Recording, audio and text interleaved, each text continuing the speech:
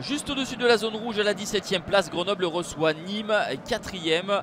Début de saison euh, contrasté donc entre les deux équipes. Le GF38 ne parvient pas à retrouver euh, sa dynamique de l'exercice précédent, tandis que les Crocos, après leur relégation, se sont tournés vers l'objectif remonté et restent invaincus avec 3 victoires et 3 nuls, dont le dernier face à Caen 0 à 0 avant la trêve. Les Nîmois euh, prennent le contrôle euh, des opérations dans ce début de match avec beaucoup de, mouvements, de débordements.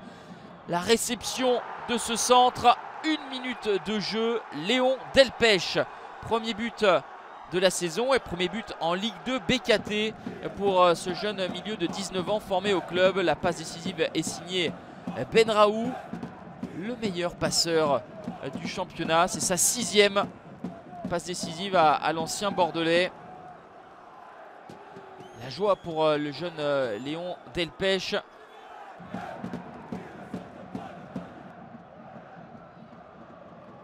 Derrière, euh, la formation de Pascal Planck insiste pour s'échapper.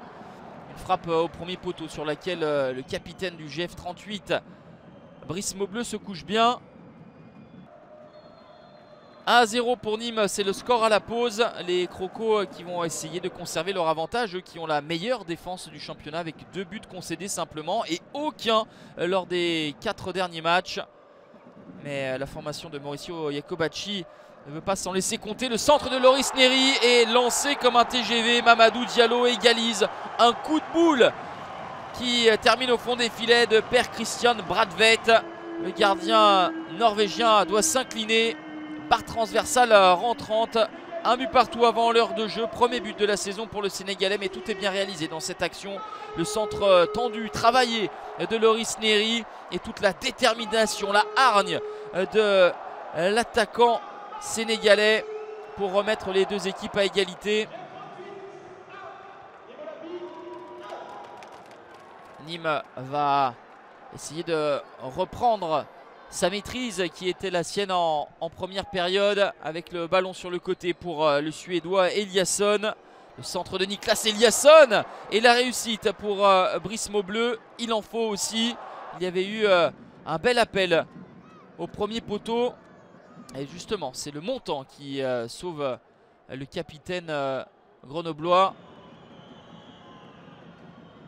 Les derniers instants de cette partie avec les les hommes de Jacobacci qui se procurent euh, de plus en plus de situations. Ici euh, sur coup de pied arrêté. Entrons dans les arrêts de jeu avec euh, une frappe qui paraissait anodine de David Enen, l'international togolais, et une incroyable faute de main, une boulette de père Christian Bradvet, lui qui avait été si sûr, qui avait fait montre de tant de sérénité depuis le début de l'exercice, lui qui était tout simplement à la tête de la meilleure défense du championnat, il y était pour beaucoup. Eh bien une mauvaise Appréciation, le ballon qui échappe au gardien international norvégien. Ça fait 2 buts à 1 pour euh, Grenoble. Oh, ils ne s'attendaient certainement pas à un tel cadeau, les supporters du GF38. Et on va rester là, 2 buts à 1 en arrachant une deuxième victoire cette saison. La deuxième au Stade des Alpes. Grenoble remonte à la 14e place et souffle un peu avant de défier le leader Toulouse. Nîmes battu pour la première fois glisse des places pour les playoffs.